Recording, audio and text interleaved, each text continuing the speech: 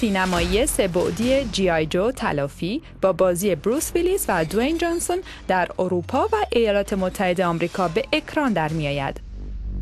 داستان فیلم درباره گروه جی آی جوست که همزمان با کبرا دشمن قدیمی خود و با نیروهای دولتی که قصد تعطیل کردن فعالیت‌های آنها را دارند مبارزه می کند.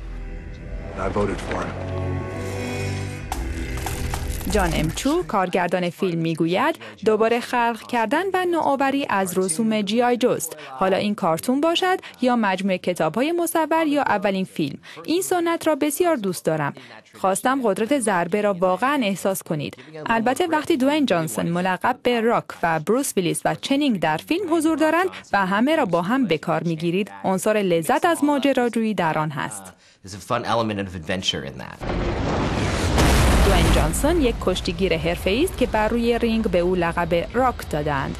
او از کودکی بازی با اسباب بازی جی آی جو را دوست داشته است.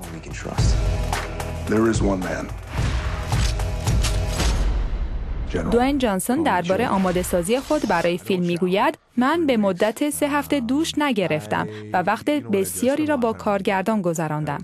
این خیلی مهم بود و واقعا در نقش فرو رفتم. احساس کردم که جی آی جو را واقعا می‌شناسم. چون تمام مدت کودکیم با اسباب بازی های آن بازی کردم.